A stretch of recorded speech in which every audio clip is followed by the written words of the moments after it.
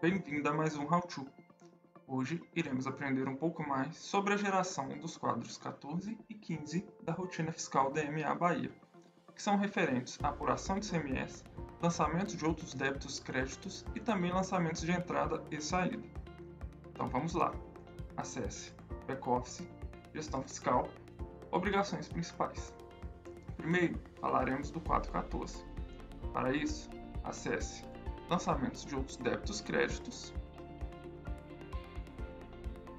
Aqui possuímos um lançamento do tipo débito com subtipo não se aplica. Este lançamento é passível da geração do campo valor outros débitos do quadro 14, conforme consistências descritas no manual da rotina, também disponível em nossa documentação. Já neste outro exemplo, temos um lançamento do tipo deduções com subtipo não se aplica.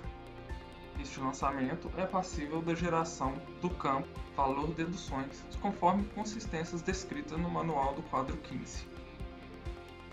Agora vamos em obrigações acessórias, gerador de saídas.